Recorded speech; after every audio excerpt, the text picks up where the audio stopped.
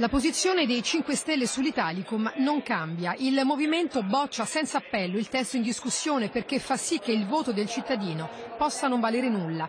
Non per nulla sul blog è stato definito pregiudicatellum e il deputato Fraccaro, rivolto ad un gruppo di studenti che assisteva alla seduta, ha detto stiamo votando una porcata. È la peggior legge elettorale che è passata per questo Parlamento. Noi iniziamo a l'idea che l'accordo fatto tra Renzi e Berlusconi abbia un fine chiaro, ovvero sia quello di salvare Berlusconi come un vero e proprio salvacondotto dall'interdizione dei pubblici uffici. Non possiamo credere che Renzi sia arrivato a tanto.